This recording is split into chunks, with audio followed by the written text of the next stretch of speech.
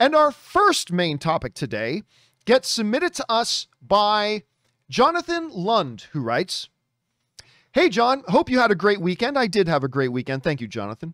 I absolutely loved Free Guy and was so pleased to see that it was number one at the box office for a second weekend running, bringing in $18.8 million, dropping only 34% from its opening weekend, which is a remarkable hold. This is easily the best second weekend hold out of all of the summer films this year. Why do you think Free Guy had such a great second weekend hold when all of the other films suffered massive drops? Thank you and keep up the great work. All right. Thanks a lot for sending that in, Jonathan. And by the way, uh, Devin uh, Pangricker sends in a super chat badge in the live chat. Thank you, Devin. Um, yeah, let's talk about Free Guy for a second, shall we? So you guys know that I have been thrilled that like I saw three movies in a row that I loved. It's been a long time. It's been a long time since I saw three movies in a row that I loved. So that was like uh what was it? it was Suicide Squad, Free Guy, and then Shang-Chi. Free Guy, of course, is a movie that had like half the budget practically of Suicide Squad. Wasn't isn't one of these movies that looks like it would traditionally do super well at the theaters because it wasn't based on any existing IP. It's not a video game movie. It's not based on any video game, any comic book. It's not a reboot. It's not a sequel. Nothing like that. It's it looks like a movie about a guy who's a character inside of a video game but it ended up making nearly $30 million in its opening weekend, which by far exceeded their expectations. Now, the big question, though, was going to be what was the second weekend drop going to be like? Because generally speaking, I've told you guys this before, that where you want to see your second weekend drop is between 50 and 60%. If your movie drops 50 to 60% on its second weekend, that's a decent, acceptable, okay range. Like if your movie drops 52%, because we live in a culture that more and more over the last five years, a movie going culture where more and more people go to see a movie when it first comes out, right? More and more. It didn't used to be that way 15 years ago, but more and more and more movies make the bulk of their money right near the beginning of when they get released. So the question, so a 50 to 60% drop is okay. If you drop over 60%, that becomes concerning. Like Suicide Squad dropped 70, 71%, something like that, right? Even though the movie was fantastic. Something like Jungle Cruise, the Dwayne The Rock Johnson movie, dropped 55%, 56% around there somewhere, right? That's that's actually that's decent. That's that's not bad. That's not bad. Free Guy only dropped 33.5%. Wrap your heads around that. Free Guy only dropped 33.5%. Even in pre pandemic era, that number is remarkable.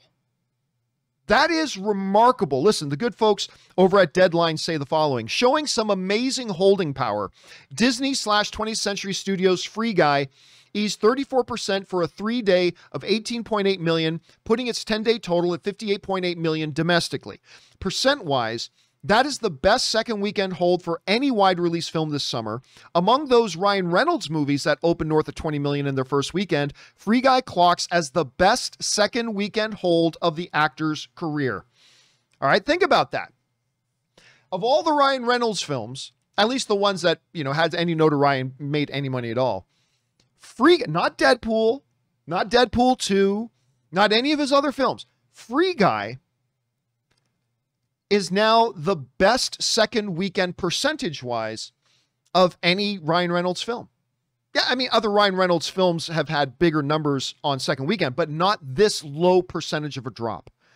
That is a massive testimony, I think, really to number one, the quality of the film, but number two, and most importantly, the word of mouth because people went and saw Free Guy, and those who did raved about it. They raved about it. People like me, people like a lot of you guys raved about it. And so a lot of people went back. Not only did people go back to watch it for a second viewing, they took new people with them. And some people who didn't go first weekend said, "Oh, actually, that that Free Guy movie that only looked okay, a lot of people are saying it's great. Maybe we should give it a shot. And they went out and gave it a shot. And it only takes a 33% drop, 33, 34% drop, which is really remarkable. the question becomes why does Free Guy only drop 33% and able to, to, to haul in almost $20 million on its second weekend?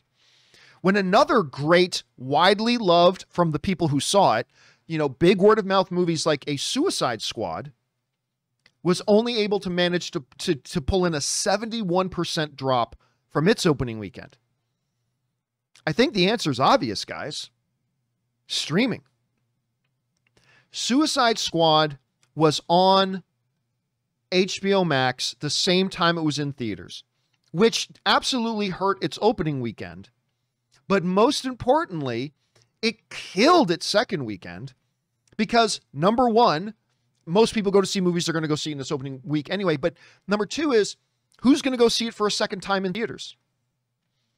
Most people I know who saw and liked Suicide Squad, I think actually everybody I know, I don't know a single person that went back to the theater to see Suicide Squad for a second time because they saw it the first time in Suicide Squad, loved it, got that big screen experience. But for their second and third viewings, they just watched it at home on HBO because it was just there, right? And so Warner Brothers lost a ton of money. They lost a ton of money.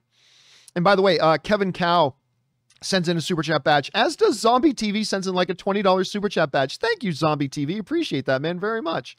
Um, as does uh, Juri Manian sends in uh, a super chat badge as well. Thank you, guys. And uh, Martindale uh, Micklemont sends one in too. Thank you, everybody, for that. Appreciate that.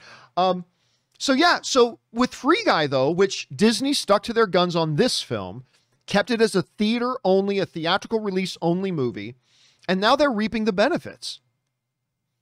Now they're reaping. This thing made almost $20 million in its second weekend, 18 point something million dollars in its second weekend, only a 33 to 34% drop. That is crazy. I believe the main reason for that, besides the fact that it's a wonderful movie and was well received, it's obvious. One did the streaming route and left a whole ton of money on the table, and one stuck as theatrical only. So people who wanted to see this second time or bring new friends, they went to go see it on a second weekend, and it did really well. So, yeah, I and I couldn't be happier for them, guys. I really couldn't be happy. This is a joyous, wonderful, delightful, entertaining movie. Top 10 movie of the year by the time the the, the year ends? Probably not, but it's a just a delightful movie, wildly entertaining. Do check it out if you get a chance, guys. Uh, and that is just it's it's just great, and I'm so happy for its success. Anyway, guys, the question is for you: What do you think? About Free Guy's record breaking small drop from week one to week two. It's the best for any Ryan Reynolds film. It's the best of the summer so far. Clearly, streaming or lack of streaming had something to do with it. How do you guys think about this? Jump down into the comment section below and let us know your thoughts.